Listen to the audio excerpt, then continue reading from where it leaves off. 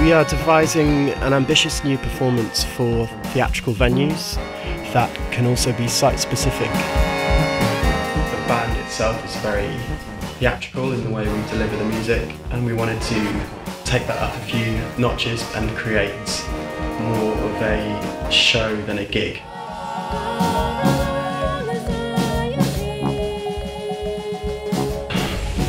Well over an hour and a half's worth of new music.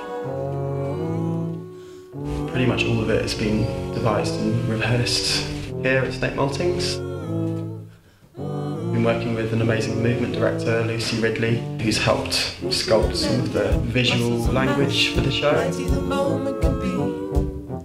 We've been setting up in a beautiful Snape Bridge house and having all our equipment here so we can just work for long periods.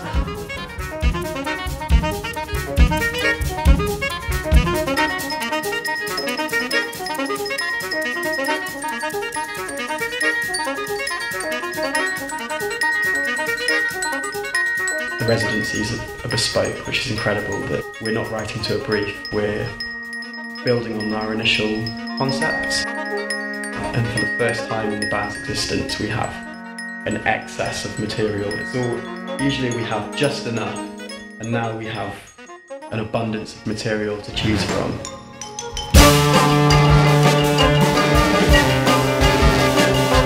There's still a long way to go in terms of tweaking compositions and recording the album that goes with the show. And crucially, we'll be adding lots of amazing lighting design and projection to intensify the live experience.